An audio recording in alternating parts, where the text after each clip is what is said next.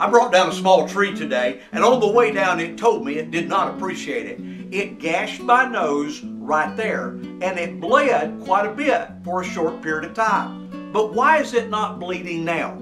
Simple pressure. I applied pressure, and the bleeding stopped. You see, pressure often fixes many things in life. What is coal?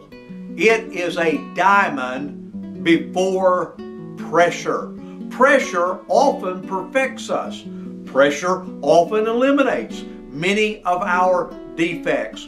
Pressure often disciplines us. It stops the bleeding and it helps us to grow. And that's today's 60 second sermon.